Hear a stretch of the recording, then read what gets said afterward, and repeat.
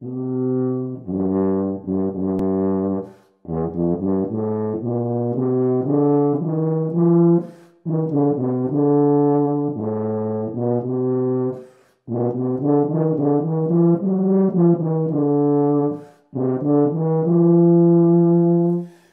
I'm Keith Hilson with Schmitt Music, and this is the tuba. The tuba, of course, is a member of the brass family. Specifically, it is a part of the low brass section of the brass family, given that it plays in the lower register. The tuba, just like all of the brass instruments, creates sound through air causing the lips to vibrate, like so. Uh when we take that vibration and put it through the tuba, it takes it and focuses it and amplifies it and turns it into the great tuba sound that we know.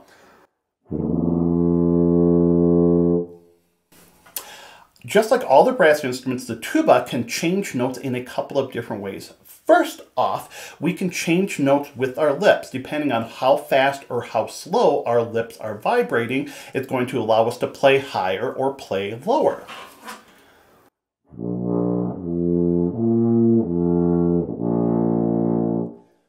Other way we can change notes on the tuba is through the valves. When we press the valves down, it adds extra tubing to the tuba. It makes it longer, and so it means we can play lower.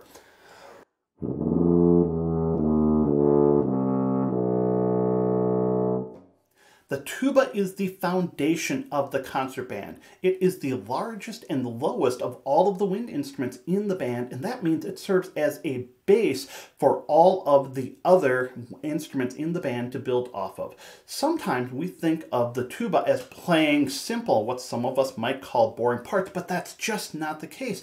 The tuba very often plays melodic parts, technical parts, musical parts that are just as important as any other instrument in the band.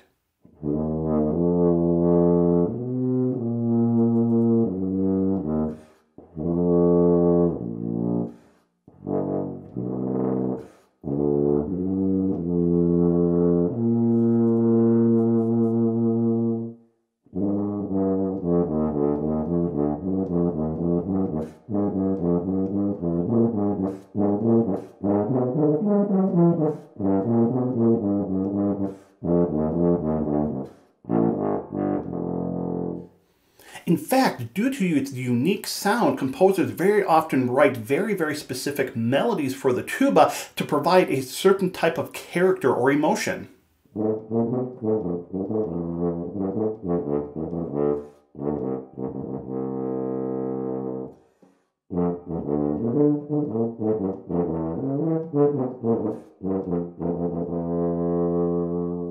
We sometimes think of the tuba as an instrument that needs a lot of air and so needs a large person to play it. And while it's true that the tuba does take a lot of air, there are certainly plenty of other band instruments that take a lot of air too, like the flute, for example.